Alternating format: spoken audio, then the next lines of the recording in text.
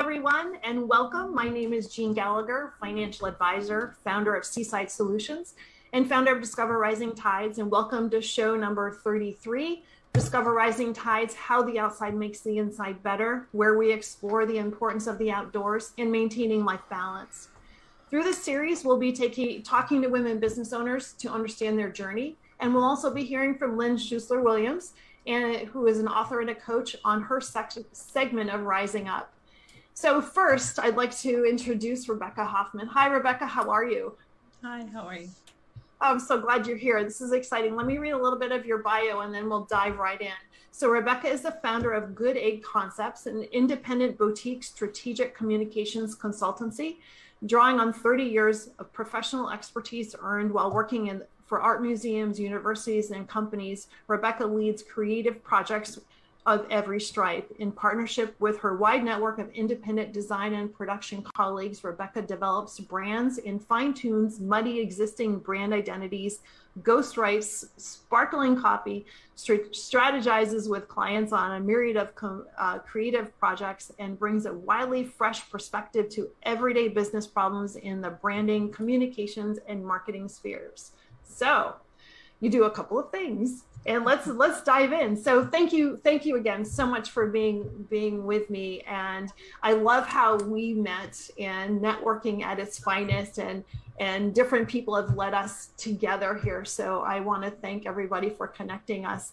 And so um, i want to talk about your current business but also how you how you got to where you are. Where did the journey start Oh, well, thank you so much. And yes, I want to also echo what you said. I think we're spanning the country here, which is so yes. fun, and um, through mutual acquaintances, which is a real treat. Uh, how did I get started? You know what? It's uh, I feel like my life has been a braid of uh, activities and adventures, and I was um, always interested in the marketing side of things and the communication side of things, and typefaces and typography and words. And I think every single job that I've had has kind of built on the previous one, uh, not just with responsibility, but awareness and expertise. And so I think I'm 14 years into consulting, solopreneur, like uh, many people. Mm-hmm. Uh, but I really, you know, my career began working with major universities and art museums, uh, learning kind of all the communications ropes. And as a side note, I grew up in Chicago, and for some reason, and I don't know if this is true, but I have the sense that this is like the jingle um, kind of epicenter of America. And we had a lot of like really local commercials that were not very well produced, but they had amazing jingles and taglines and slogans and things. And I think I just grew up watching them when I was little, and it always just stuck with me and always been part of that now. I've talked to so many people, and a lot of common theme theme from prior to being a solopreneur or a business owner or or whatever the structure is today is that transition from corporate to being on your own and mm-hmm. everybody's transition is different mm-hmm. and what is your how how is that for you and and coming from a very different background right from right. the university or something very and art museums etc how was that transition for you and what made you take the jump you know, I think the transition is really kind of interesting in the sense that, and I don't know if everybody experiences this, but my experience was with each successive job that I had, I knew more and more and more. And I can remember very specific instances where someone I worked for taught me something about design or taught me something about marketing or communications in a very firm um, and clear way that suited the organization we were working. And I found at some point I was just an expert and people were asking me from the sidelines, could you help with this project? Could you help with that project? And I started to just have projects and I didn't realize that that's consulting. Uh, that's really how it began. And then um, around 2008, 2009, I had an opportunity to really kind of go full tilt on my own and I did. And interestingly, someone I knew who had an interesting um, office in a, in a house behind their house in Chicago said, come work in my space. And they had a bunch of different workspaces, and I would sort of go to work there every day. And before I knew it, I had several projects, and one that was a two year contract with a very large organization to ghostwrite a book for them. And it just started. Uh, and I think what happened was, and this must happen to other people, once you know kind of a lot of stuff about your industry, you can you can go and do these things. And I, I think I just realized that at some point that I could just have my own consulting practice, but I kind of dundered into it in a way. That's almost fortunate that you did, right? I love that word dundered too, because well, it is it is so fortunate because so many people will plan, oh my gosh, I'm going to leave this structure here and I'm going to transition to this structure here. And how do I manage myself between one and the other? And it just flowed for you. Yeah, it did. And as a creative person, um, I didn't sit down and write a big business plan to begin this and launch mm-hmm. this. It evolved as things mm-hmm. do. And I think it's still evolving. I really feel like every year the business and the practice shifts and turns and changes. And it it's still the same business, but it, it does take on different kind of tonal qualities year by year and the creative side of you helps it continue to evolve so it's yeah. not the same as it might have been or or even as you might have imagined after right. you started to dunder in 2008 well it is it's a, there's a dynamism right like uh, uh, it's never the same and people ask me what's your day like I'm like every day is different Every day mm-hmm. is full of different adventures and experiences and conversations and projects and it's just how it is uh, and it's always been that way. But I think as a creative person, I look forward to that. I think mm-hmm. for other people, that would be terrifying and right. unpleasant. But I think that's why so much of this is about fit. aside from expertise, like, does it suit you? Right. And mm-hmm. it, this suits me. so that's fantastic. And so the, uh, my phone rings at an inopportune time there. So always happens, right? For sure. That's what the do not disturb that you're supposed to click on is for. uh-huh. so so tell me about the ghostwriting process because for me I don't know that I would consider myself a creative, but in my own industry I am creative, mm-hmm. but the writing process has always intrigued me, but I don't have it's very difficult for me to put words on paper in any structure but but when you're when you're ghostwriting for somebody else that's mm-hmm. different isn't it than your own thoughts and, and oh, yeah. processes oh, so yeah. what is it like to do that well i think it's very interesting and i've done it for so long i don't even think about it anymore but i think the really the the essential aspect is uh, i must assume the perspective of who i'm writing for so whatever the instant whether it's a letter or a book or an annual report or a speech or chapters for somebody or their social media content, uh, I have to imagine how that person sees the world or what their perspective and point of view is. And then I have to assume that as the writer. And so I tend to do a little research um, when I'm getting to know a client or a project to understand better the kind of the environment they're working in and also kind of the the tonal qualities that they need in their writing and that's what I go after depending on what what the project is. But it, I I do so much writing for people, and I tell people, you know, if I write something, don't say, "Oh, our consultant wrote it." Just say, "I wrote it." That's why you hire consultants. And t- I said, take all the claim. That that's what you get. And say, "Look what I wrote," and people do. So it happens all the time. I write all kinds of things for people. Their blog content, their uh, you name it. I've probably that, and that must also create change, right? So you're thinking in different mm-hmm. manners as different people throughout sure. each project that you have. So it brings it brings different dynamics to each project too, right?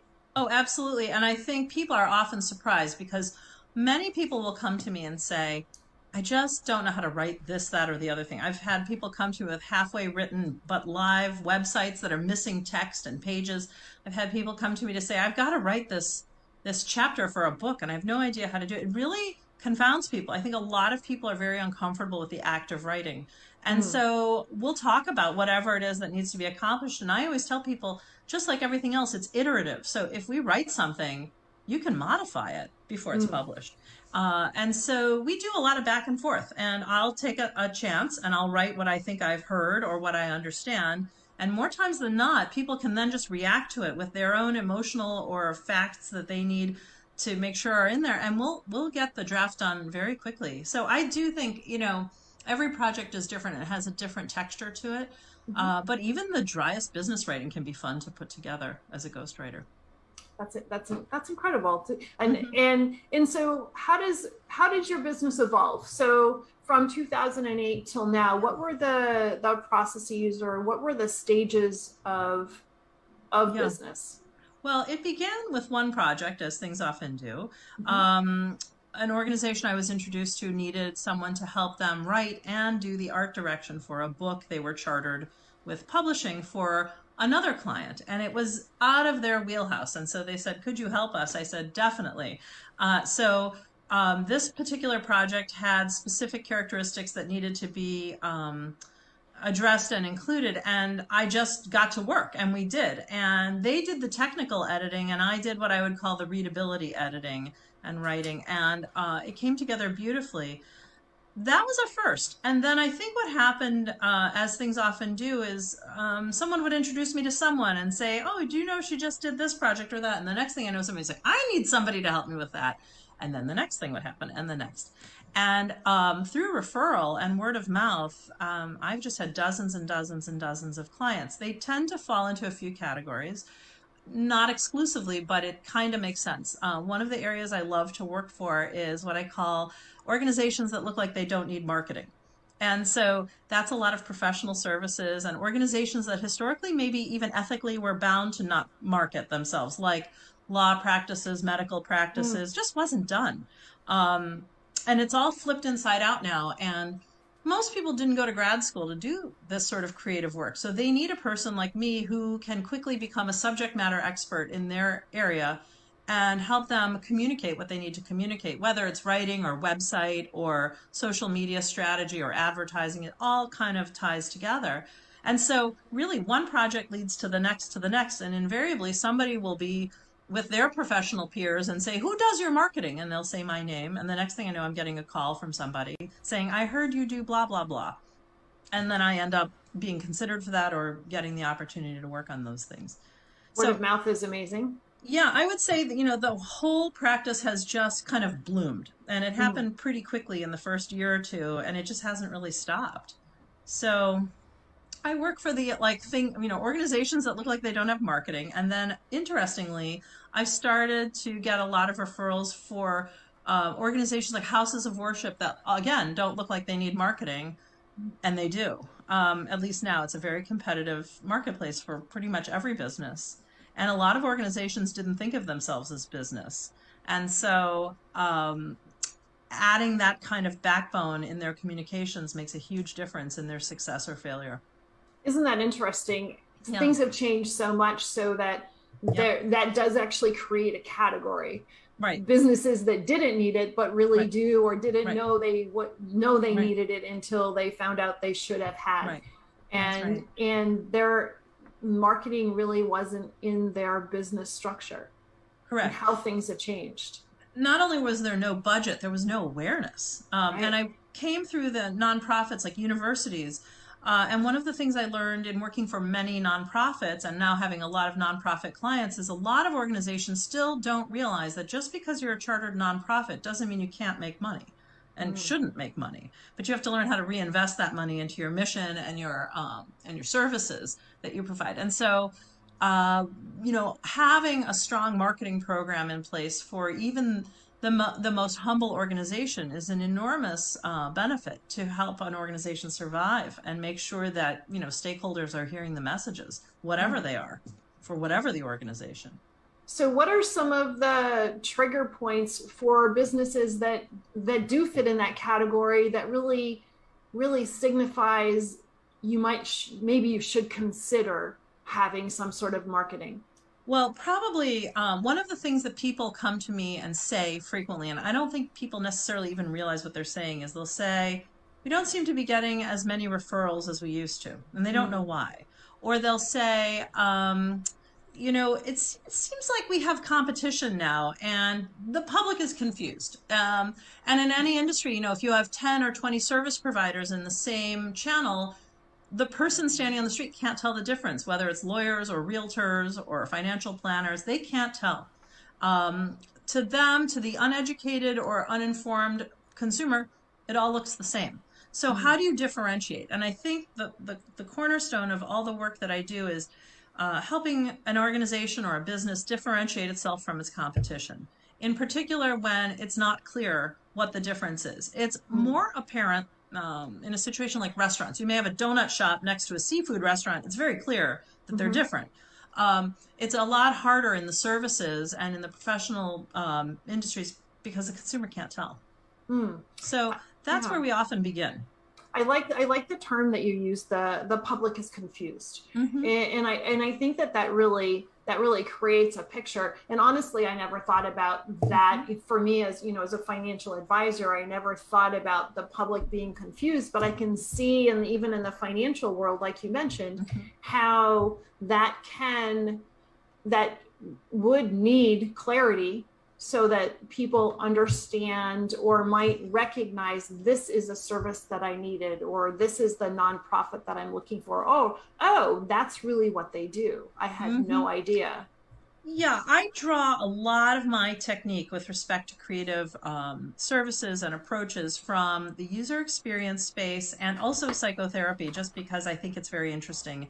And um, both interestingly, the user experience space and psychotherapists always work with their client or their customer or their patient um, to understand what is it like to receive what's being emanated out. So if mm-hmm. you're a business and it's unclear what your mission is or what you're offering, or it's become unclear because you have a lot more competition than you did five years ago or 10 years ago, what is that like for the consumer to receive that information? Um, mm-hmm. and it can take the form of, uh, you know, I'll talk with clients about, are you giving people like Excel spreadsheets and Word docs when you meet with them? and a lot of people say, oh, yes, we do. And what's that like to receive that? That's stressful for people. They don't mm-hmm. know what to make of it. That's a pile of papers that sits on the desk. Uh, so, how do we design that for readability? How do we write that so it's engaging? How do what is what is a person's experience of what your business is giving? And I, mm-hmm. I think we see a lot of instances in the world where uh, companies or organizations are really succeeding and people really relate to them, and then we see examples where people um, can't relate to them and they're not succeeding mm, with their customers. Yeah. yeah. So that's like where I creatively come from. I always ask people, what's that like? And let's explore that first before we do anything. What is it like to receive what you have? And people, you know, you can tell when you said, how do people know to come to you? Like, you know, when someone gives you a business card and they say, oh, this is, I'm new, this is my predecessor's business card, and they scratch out their name and write their name. You know what? You need business cards. And by the way, do they look great? You know, are you proud of them? Does it feel like a gift that you have to give, or is it a burden when you hand it to someone that they now have to contend with? Yeah. So that's and I where like, we begin. And that's interesting when you say, how is it received? And it almost, what when you were saying that, what made me think about is what you had said in the beginning about being in Chicago in the land of jingles, in right? And so jingles are received and yeah. they're received and repeated. And it was very simple back then. Mm-hmm. It was a it was a quick little jingle that mm-hmm. that really gave a picture yep. of what happened. And yep. things are so much more complicated now, but you're taking that that learned experience and turning it into more modern day needs and i'm sure that many companies and many many businesses don't think i wonder what people think when i hand them this paper. Right. What an what an intuitive thought process and how important yeah, some companies do and some don't. And I think we can learn from what I call the Jedi masters of marketing. Uh, and even the smallest business can borrow from that. And, you know, as an example, and this is, I, um, I don't profit from this to even say this, but like if we look at Apple, you know, they've turned tech support into a visit to a museum. You go to the mm-hmm. Apple store, it's tech support. More times than not, you go there because you have a problem. Mm-hmm. And you go in there and you might even wait.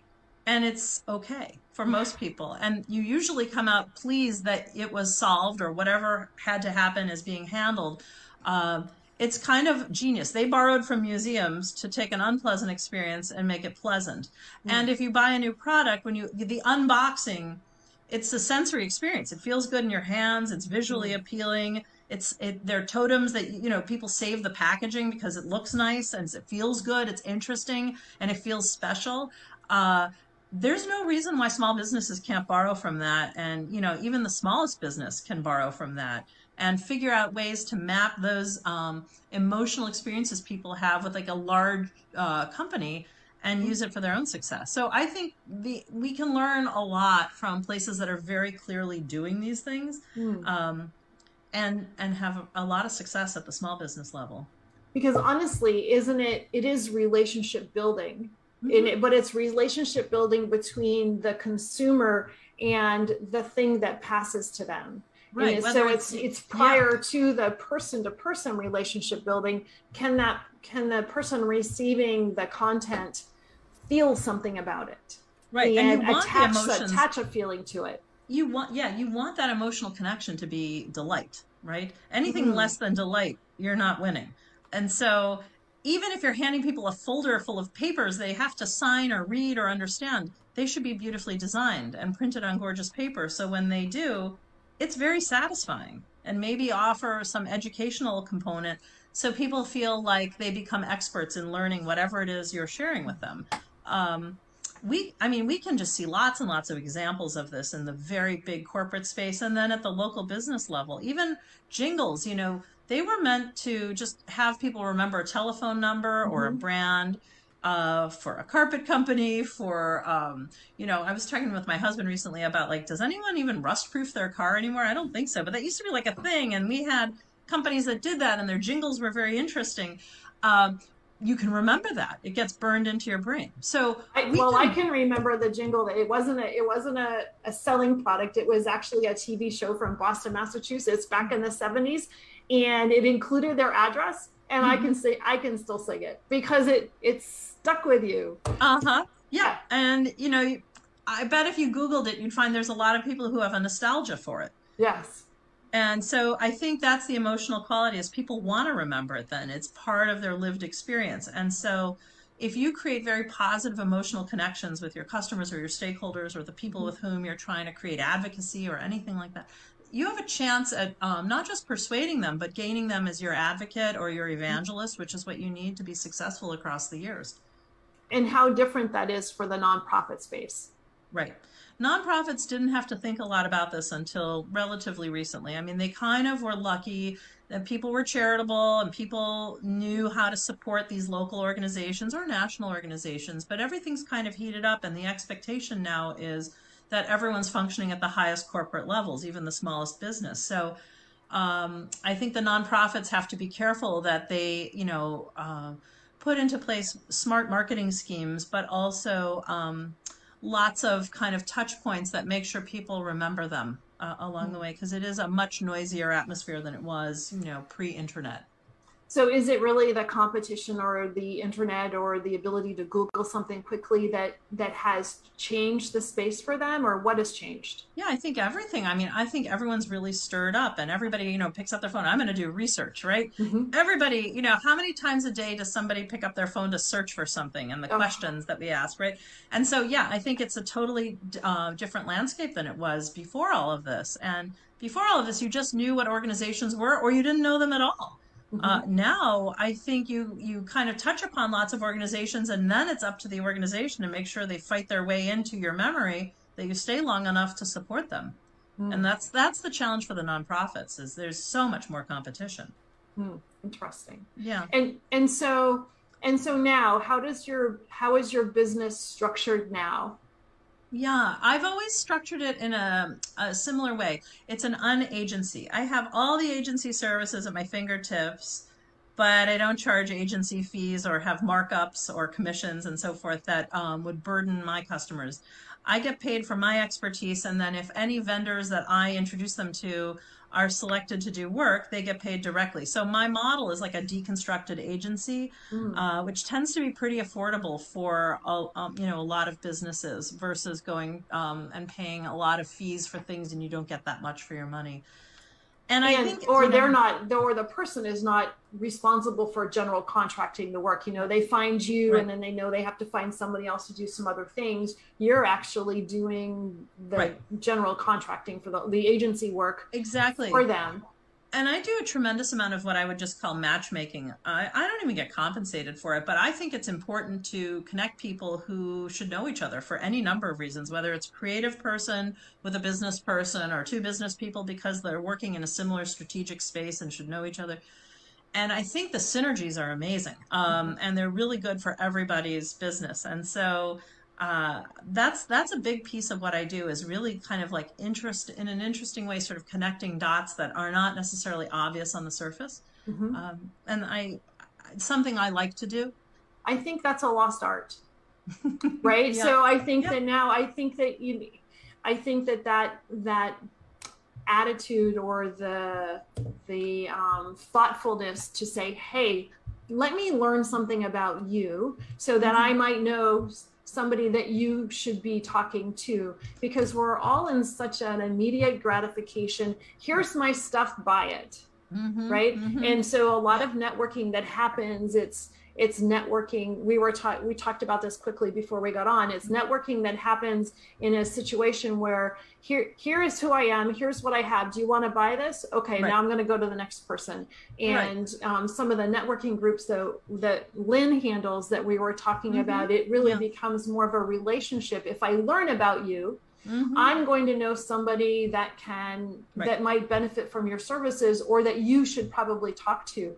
And I, you know, as the internet has grown and in our phones and things, I think we've lost that ability to communicate with others and or the want or the care to do right that. and i think uh, the piece that's been challenging in the last few years is um, i think humans need to know each other and Mm. whether we're on zoom doing this or sitting together having a cup of coffee and talking about our business practices or presenting in a large group i think that there's no substitute for human involvement and connection especially as it pertains to business development and so we have great tools now. I mean, we just have tools beyond tools, almost too many. And that's been the big shift over the years too, is now, you know, if you're doing marketing, you need to employ a lot of different tactics and tools compared to 10, 15 years ago.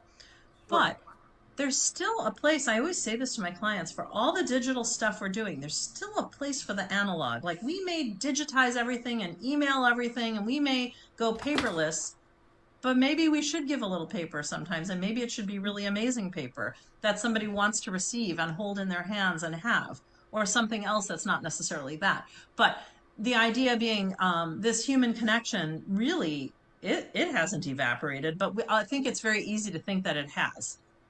And and possibly if there's something good that's come out of COVID, right, is Mhm. our ability to assimilate to a more digital Yeah. personal if you can put digital and personal in the same sentence Yes. interaction right Yes. and and more comfortable having these types of we Right. never would have met prior to covid no and and and how uh, would we right you know i would have to get on a plane and fly to you or you to me and take that chance um, think of all the meetings we used to have to wait to set to Mhm. see someone in person now i see my clients from time to time but not all the time and it has accelerated the rate with which we can achieve whatever it is we're seeking to do which is fabulous Mhm. and then we need to pause occasionally and just sit with each other and get together somehow whether it's a zoom or in person Mhm. um, to make sure that we're still connecting Mhm. because everything is accelerated everything communications is is like a house on fire so you have to be careful too because everything is moving at this great rate of speed that we have to use caution And, and so, how did your where your business had been established fairly well Mhm. prior to COVID? Yeah. And I've talked to a lot of people that had Uh-huh. just started their business just before COVID, and so they were in a transition already, and then COVID became another transition. How did it change? How did your already established business evolve, or unexpectedly through COVID times? Yeah you know it's interesting. When when the pandemic first sort of became defined as such in when of 2020 february march time i really thought to myself well i'm going to get a nice long break because everyone murders the marketing schemes when things are in trouble. And so i Mhm. just assumed that and i started to assume like things are going to slow down. I'll do some other thing i'll do some writing i'll do some other creative things. And i would say for about 10 days it got real quiet like birds in the trees before a storm. It got silent. I think everyone was panicked which is Mhm. understandable. Mhm. and nothing much happened. And then all of a sudden i got a call and another call and another call. And the next thing i knew everybody was saying our website's not up to speed. We don't have seo in place. We don't have our um, advertise digital advertising. And on and on and on and all of a sudden I, I i never worked more in my life than during the pandemic. It was just nonstop and then i didn't have to go anywhere so i had even more meetings. I mean it was it was unbelievable. I would say business probably doubled or tripled during the pandemic and it never really let up. Uh, so i think what happened was all the organizations i worked for they'd put off the important work they had to do on building strong websites and uh, strong digital backbones which suddenly were essential. And so I think the first year of the pandemic was just spent doing that, and now it's all about um, really harnessing and understanding and making the most of the digital presence, which nobody did before that. All the professional services were like, we have meetings, we don't talk on the phone, we need to schedule time in the office, and that's over. Mm-hmm. Yeah. So um, I would say, you know, it all just kind of cartwheeled and tripled and doubled and tripled in ways that it's never going to go back the other way. Could you have imagined? No. In fact, the other day I was trying to remember what did I do before the pandemic as far as group phone calls, and I was like, right, I had a 800 number. We would all call I'll dial in into Yes. conference number. and everyone would say, "This is Rebecca." You know, uh, what I want to say is blah, and we would take turns talking. And I remember thinking, "Huh, that seems ancient." You Yeah. know, I haven't I had a used that conference call conference number line. too. I know, Yeah. right? I haven't used it in three plus years. I'll probably never use it again. Never. No. Never. It's it's amazing. It is amazing how we've all adjusted and re redefined our space. Yeah, you know, I think we all, I mean, the good news about humans is we're flexible. And so at first it was really hard and we all complained, I can't believe this is happening and blah, blah, blah, blah, blah. And now we're like, all right, well, this is how it's going to be. So we meet quarterly. Great. Okay. Mhm. Uh, and the rest of the time I'm working from home. Okay. Okay. Sounds good. Yeah. Just send me what we, I need to look at and I'll do it. And I think we've all sort of like assimilated that into our experience. And now we just have to make sure that we don't lose our humanity in the process. But I think, Ugh. I think we're figuring it out. I think do. so. I think so. I think there was a point where we started to, and Mhm. I think Right. people are realizing how Yeah. important that Right. interaction really is. Right. And trying to balance that um, kind of in the office, out of the office experience, which I think a lot of people were still trying to figure out what does the built environment have that we still need versus the virtual. And we're, I think it's going to bend and flex for a while. I don't think we really know. I think the greatest challenge is in cities. Like, what do you do with all these giant buildings that nobody needs all of a sudden? You know? And Mhm. I, I live in a city that has gorgeous giant buildings and most of them are kind of empty and nobody cares. Well, I don't want to be in there, you know, Mm-mm. don't need it. Certainly don't need to sit there all day waiting for somebody to come to me with a paper to sign. hmm Yeah. So that's probably a big challenge is catching up to what we built that Mhm. suddenly we don't need by accident. Right. Yeah. And and so now what does the what does a typical client interaction look like for you from beginning to actually working with a client? Uh, well, that's interesting. I think number one, I meet people where they are, literally and figuratively. If people want to meet in person, we do it. If we can't because of distance or other matters, we get together like this, or on a phone, or by email. And I meet people where they are intellectually too, because I think, like anything, whether you're starting a dietary or an athletic program or Mhm. trying to achieve any goal, uh, everyone comes from a different starting point. And some people Mm. want to go fast and do everything, and some people want to do just one thing. And I think that's just fine. And so often it's about defining okay, what are the issues that we're facing? How might we tie them down, look at some different approaches, and then decide by prioritization what feels right? Like, what feels like the right beginning place to begin? And momentum comes along pretty fast with projects that are creative uh, and tends to be a little bit like home renovation. If you bought a big, interesting house that needed a lot of work, but you weren't really ready to gut it, some people are. They just they're going to do it. Some people just want to paint a bathroom, but you know, you start painting a bathroom. Now you look at the hallway and you go, hmm, Mm. I could maybe do that. And that light fixture is sort of funny. You Could fix that, and you know, you unch your way around, and it's okay either way. Mm. So it's very personalized. completely. And it and there's no template. I mean i know lots of ways to do things. Like if you needed a certain type of brochure i, I have dozens of samples that we could look at for inspiration but there's not one way you know? Mhm. and so everything is personalized. Mm. So, so you as a solo entrepreneur, a solopreneur, and your business has doubled or tripled over the last couple of years, and and we are we as IATU, right? We are technically a little bit more isolated because Mhm. we're you know Mhm. in in this land of Yep. more digitalized communication. Yeah. How do you how do you take care of yourself? How do you manage Yeah. yourself so that you are in present? Uh, yeah, and I think you, you know your podcast touches on a lot of these aspects of people's functioning, and I think it's so interesting. As a creative, years ago, probably more than ten years ago, I had this worry as I was getting into my practice, and I've told this to other people. What happens if I stop being creative? I had this thought of like, what would happen if I no longer had any good ideas or creative ways of thinking about problems? What would happen? Mm. And so to kind of allay my concerns, um, I just decided to take on personal things that were interesting to me. And at the time, my kids were young, so I was slightly limited. I couldn't go like traveling the world for six months at a time. But I could do things around my house that were interesting that related to like cultivating plants or cooking or um, creative uh, approaches to doing one thing or another. I got interested in orchids and playing with them and um, kind of seeing how do you make these things go? Like, what does it take? And uh, I've gotten really good at a few things that I did not know 10, 12 years ago. Mm. But I believe those activities kind of feed my intellect. Um, in addition to like reading very widely, making sure I sleep every night, which I think is a big one. Mm-hmm. Um, and just looking after myself because as they say like in a in an airplane like if you if you can't take care of someone else until you take care of yourself so you know i I've pursued a lot of like very everyday creative activities, which I think nourish sort of broader creative experiences. And I do travel a lot now um, to places that are interesting. And when I go places, I always go check out the art museum. Like I was in uh, a small city in Iowa this past weekend, and they just reopened their art museum after a terrible flood 15 years ago. And it's gorgeous.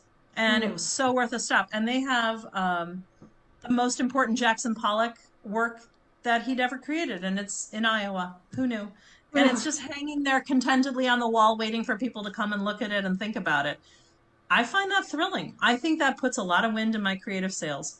Uh, so I look for those moments. Um, I, I love the fact that you had the intuition to worry about your own professional creativity and to find that you're that it's fed with your personal creativity. How unique to put those two pieces together. Well, I think um, you know there's no end of creativity if you allow it to kind of flourish. It's like athleticism or intellectualism or anything like that. All of that will flourish if you nurture it. So I I um, you know I read a lot. I probably read more than most people I know just because I enjoy it and I read widely um, mm-hmm. and not thematically, just across all sorts of disciplines. And I watch documentary films, much to my family's chagrin. I'm always watching something. They're like, it's so arcane what you're watching. Uh, and I'm like, but I'm learning something. And it's, it always adds something to what I know. Mm-hmm. So I think that's how it's like the well doesn't go dry then if you are creating things, making things. I like to cook which sounds ridiculous as it relates to creativity, but it actually it that is, handwork. It is very creative. Yeah, yeah. So I think all of that kind of nurtures the creativity. Um, well, I like, yeah, that's that's a really a unique. I never thought about it, but it just makes total sense too. Yeah, I tell my clients if you're not sure what to do, go fold laundry, and you're gonna know. You know, go get a giant mountain of laundry and fold it, and think about this, and it's gonna come to you. Keep a notebook handy. And I say notebook because it's different than digital. Write it down. Mm-hmm. Mm-hmm. Yeah, it's a no, different experience. It is. Um, there, I there's things that I have to have written that I I'm fairly I'm fairly cloud driven. I could sure. I could pop into a computer any place and work, but there are certain things that and now I have to carry my multiple notebooks with me because mm-hmm. I have things that I just physically have to write down because it feels better. Absolutely. And our, the way that information kind of floats around in our brain is different than if we typed it on the notepad on our tablet. Mm. And it, it I think it always will. I just think the way we experience the flow of information is different. Mm-hmm. Um, and I need sketching. to read paper. I, yes. I, need to read a book. I can't read uh, a um, screen. It's not as satisfying. I'm yes. on a screen all day. The having holding physically holding the paper is fabulous feels paper wonderful. feels great. Yeah, mm-hmm. it's a human experience. It's tactile. I kind of think and my brain divides information into like temporal and non-temporal. So like I can read the newspaper on my phone or a tablet or my laptop, but I still get the Sunday New York Times because it's such a good read. If I look at it on a digital, I don't read all the articles. I just kind mm-hmm. of slide through it all. I miss everything. When mm-hmm. I read it and I see the ads and smell the paper and just take my time, it's kind of delightful. Mm. I can. I always say that. it's been a good Sunday if I've read the paper in its entirety. Although there'll often be like a Thursday where I'm still reading the previous Sunday's, Sunday's paper. paper. That's okay. it's features writing. But I think, you know, as a component to all of this, aside from like all of these like activity driven things that um, help creativity, to your real mission and point, you know, being outside is the giant reset, right? Mm-hmm. Having a long walk or getting near a large body of water or a place of like um, physical or geological importance is the reset. It is, and the water water is magic. Yep, totally. And I think um, we don't realize how badly we need to kind of meditate on these things without necessarily having a mantra, not necessarily even having a formal practice. But um, that's absolutely true. And you know, there's a place I live um, just off Lake uh, Lake Michigan, and there's a place where I can go and work um, literally on the lake. I, I can. It's a parking lot that juts out into the lake. So if it's a windy, wavy day, my car might even get splashed, which is kind of fun. And I love to work there, especially in, when we have what we call bad weather, which we have mm-hmm. a lot of here in Chicago. We have a lot of bad weather, and uh, that's a giant reset. Mm. And so I think that that contributes also not just to creativity, but to sort of like an outward hopefulness about advancing whatever we're working on.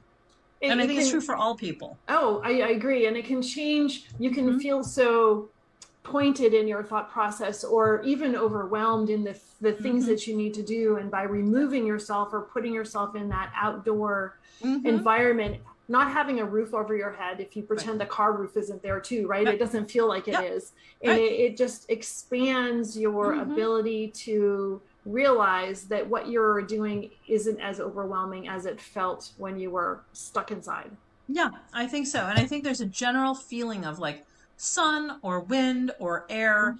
that completely shifts how we experience work and projects uh, and what maybe we define as like our daily stresses mm-hmm. and so you know, I know some people go jogging, some people are mountain climbers, some people go kayaking, and all, I mean, all of these pursuits are amazing.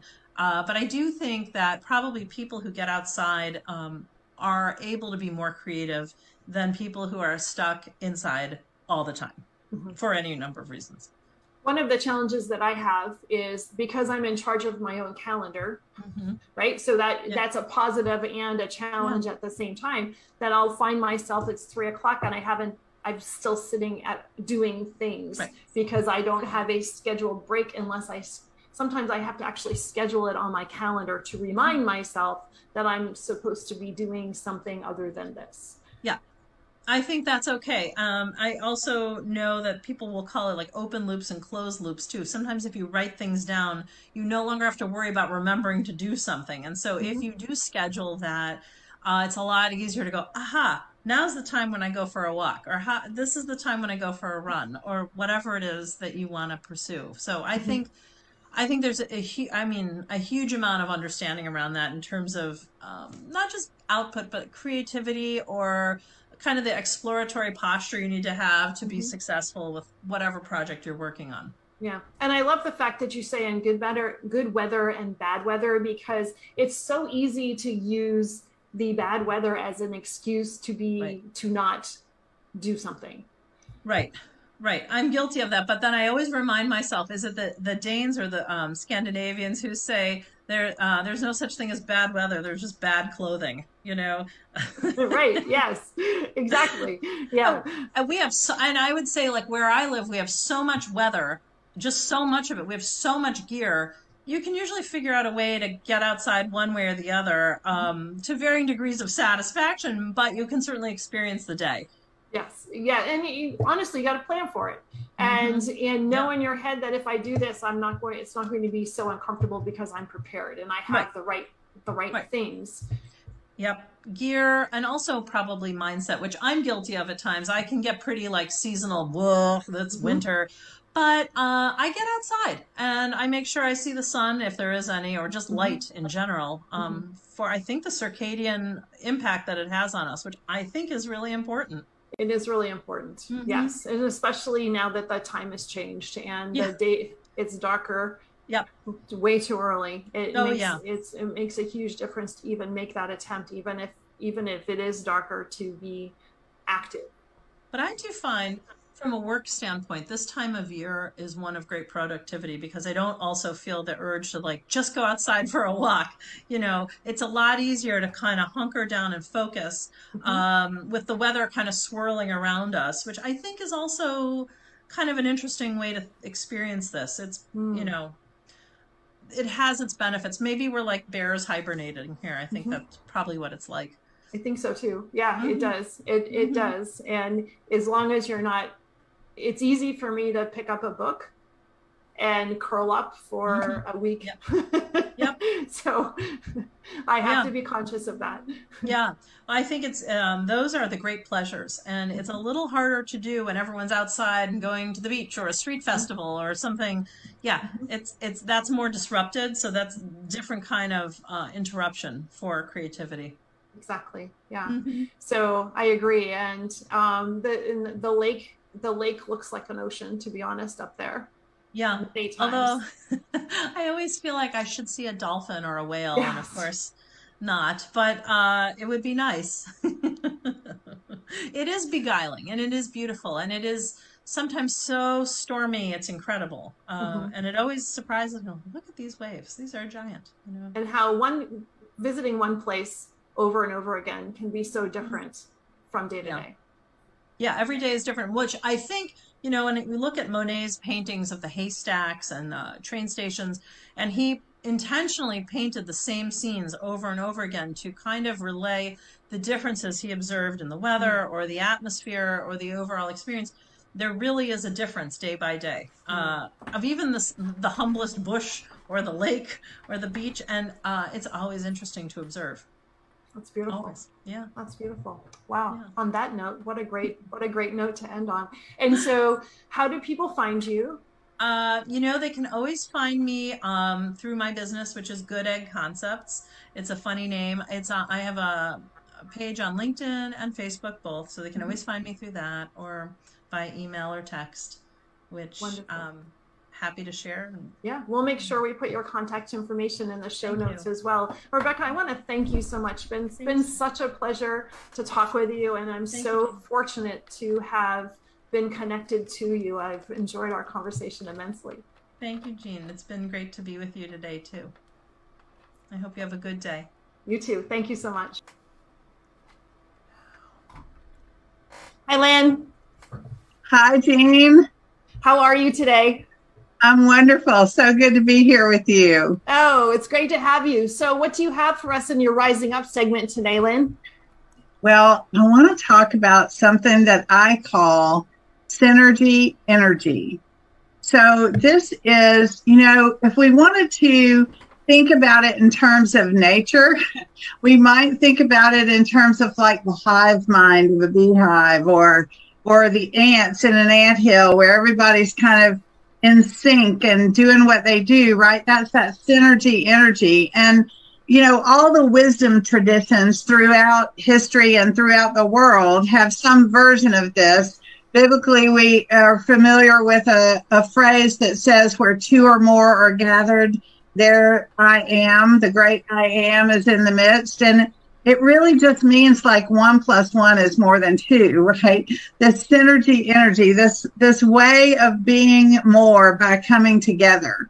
And so we human beings are not bees or ants, but we do have a connection energetically. You know, all of us have experienced walking into a room where there's been an argument and feeling the tension in the air, right? We've all experienced something like that. Or or walking into a room right after a whole bunch of people were laughing hysterically. You could feel that that's a different energy in the room. And so that connection energetically and and you know um, I saw a sign recently that said something like surround yourself with people who feel like sunshine. Mm. And I really loved that idea that, you know, um, we we could consciously choose that kind of synergy energy, right? Um, and that conscious choice, um, we could consciously choose to be with people who will agree to believe in us and with us for the things that matter to us. So a lot of people would call that a mastermind group. And that term, the mastermind, came from Napoleon Hill's writings and and you know he interviewed all those people and they were all men and they were the most successful people in the world at the time. And they all said, I surround myself with smart people. I surround myself with people who will believe with me. And so this idea of synergy energy and this idea of consciously choosing to surround ourselves with people who feel like sunshine, with people who will believe with us and will amplify what we are about by their shared belief, by their shared conscious, intentional synergy energy. It's just something that I think is so powerful. And it's something that I hope the women entrepreneurs who are listening and the and the women who are thinking where do i have that in my world i hope that we all consciously step it up a bit mm. right because we can we can really bring a feminine energy to this idea of the mastermind which started out such a male thing right by thinking of it in terms of uh, consciously engaging in the synergy energy and amplifying it for each mm-hmm. other i think that's such a key thing so uh, i've just been thinking a lot about the synergy energy and i wanted to bring it up i think we can see it reflected in nature over and over, especially once we start looking for it. And that can be a really awesome thing to experience. So that's my talk for today, Jean. I love that. I love that. Creating the community where one and one is more than two. Yes. And yes, that's wonderful. Thank you. Thank you so much as always. I appreciate your Thank time you. and your thoughts. Yes. Thank you so much for listening today. Today's show is sponsored by my, Seaside Solutions, my financial services company. As a business owner, it's easy to be pulled in many different directions, and often taking care of yourself plummets to the bottom of the list. For me, I find myself outside to reground. My time outdoors helps me manage my day more effectively and be more present for my clients. Through this, Discover Rising Tides was born. At Seaside Solutions, we truly believe that education is the foundation of financial wellness our primary focus is to provide guidance that is designed to help you achieve your long term financial goals and visions. Working with a plan allows space for doing more things that you love, like being outside to make the inside better. If I can help you create or realign your plan, or if you would like to be added to my weekly newsletter, please let me know. This week's topic was five ways to set more achievable goals. Your referral means the big, beautiful world to me. And if I can help, please let me know. And thank you so much for listening and see you next time.